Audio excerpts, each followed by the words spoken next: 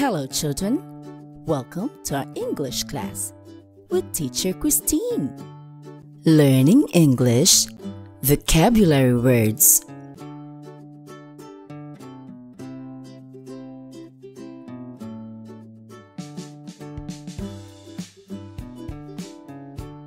A. A says A.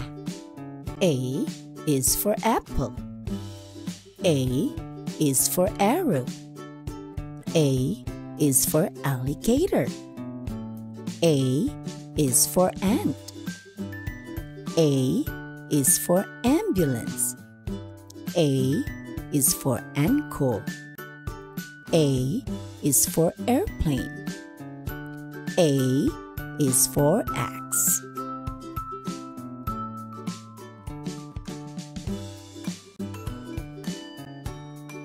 Brilliant!